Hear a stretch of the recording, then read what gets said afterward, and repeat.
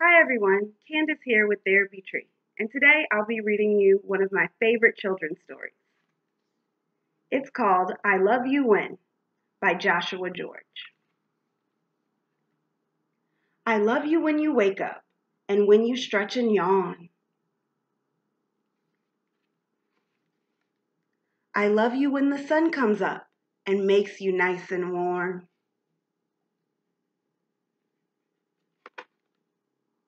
I love you when you're tough, when you're the bravest in the pride.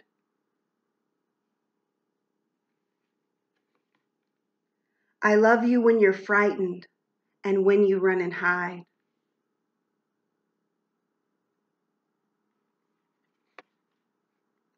I love you from your little head down to your little toes.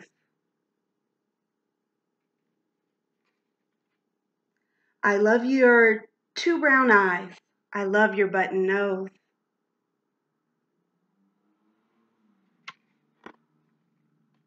I love you when the day is hot on the dry and dusty plains.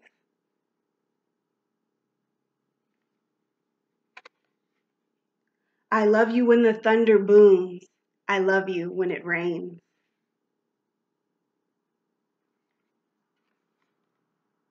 I love you when you're quiet. I love you when you're loud.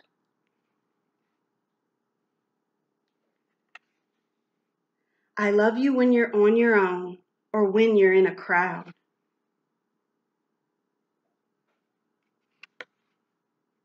I love your little tail that is never ever still. I love you more than anything. And I always will. The end. That's one of my favorite stories because it teaches you to love yourself.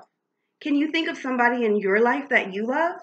Can you name some of the animals you saw in the story? I look forward to hearing more from you later.